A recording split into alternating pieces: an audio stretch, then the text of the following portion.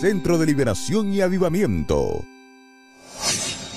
Ella tenía un problema en el oído. Ella fue al médico y le iban a hacer una operación She had a problem in her ear and they were going to operate on porque her. ella tiene un hueso adentro que le estaba creciendo. She had a bony protrusion that it was growing Y de inside ella of her ear. solamente tocarse el oído, se le tapaba el oído y ella no podía escuchar bien. And La her, probó bien todo. Sí, ella se puso, póngase la mano, nada más de, de ponerse la mano así, ella tenía, el oído se tapaba inmediatamente por el hueso que le está creciendo.